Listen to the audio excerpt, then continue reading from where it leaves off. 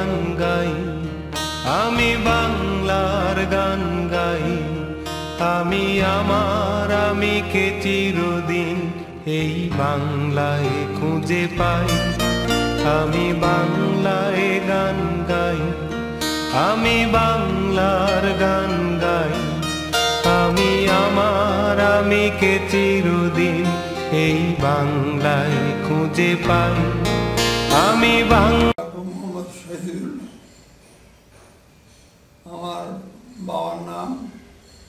মরহুম ডাক্তার সুলতান আহমদ।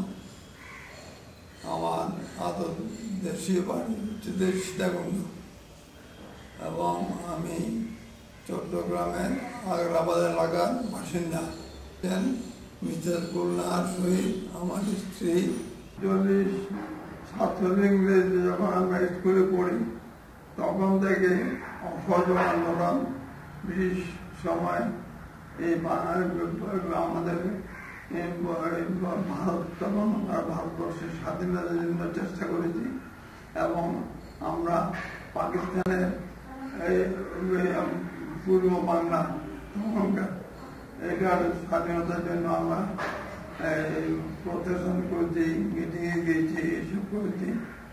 তার পরবর্তীকালে যখন আমরা কলেজে পড়ি বাউন্ন উনিশশো বাউন্ন সালে তখন এই ভাষা আন্দোলনে বাংলাদেশের ভাষা আন্দোলনে আমরা পূর্ব পাকিস্তানের ভাষা আন্দোলনে আমরা যোগদান করেছি তার পরবর্তী সময়ে আমরা স্বাধীনতা হওয়ার জন্য, এই পাকিস্তান থেকে স্বাধীন হওয়ার জন্য এটাতে আমরা, আমি নিজে, আমার পরিবার, সবাই আমরা স্বাধীনতা যুদ্ধে অংশগ্রহণ করেছি।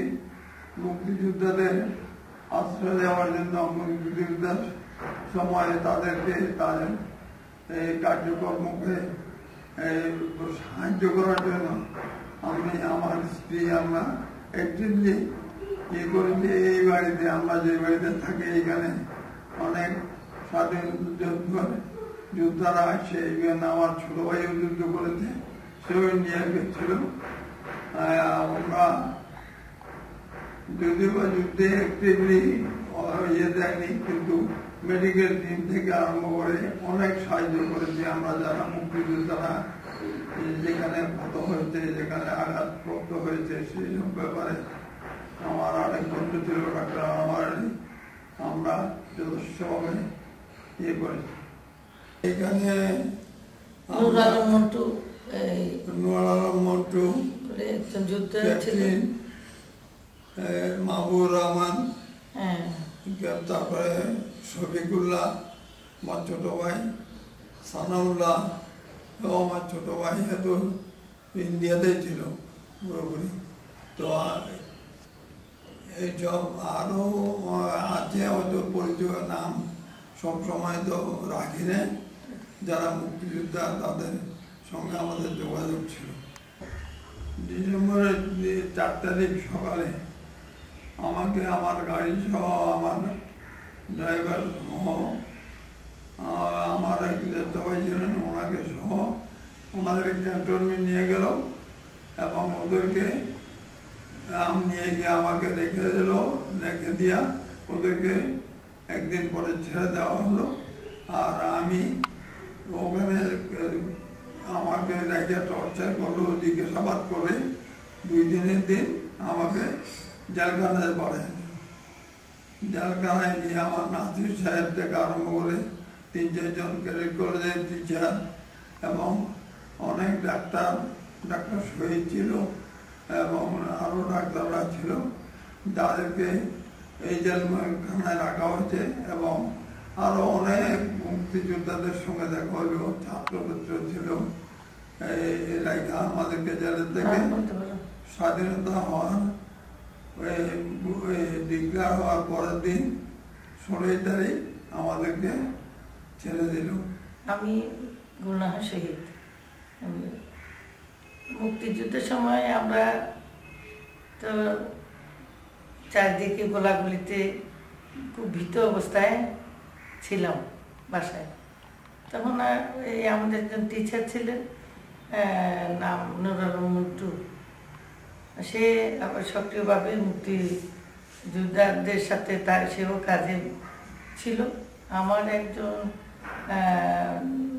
কাজের ছেলে, একটু বয়স ছিল, তার নাম করিম। সে আর উনি টিচার মিলে আমার সাথে আলাপ করে আমার বাড়িতে তিন, চার জায়গায় অস্ত্র মাটির নিচে রাখার জন্য আমরা যুক্তি করলাম।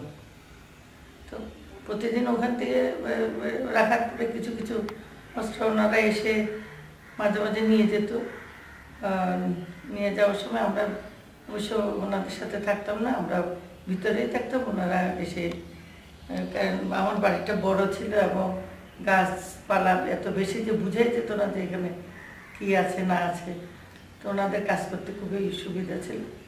তো এইটুকু মানে ইয়ে তাদের আমি বাংলার গান গাই।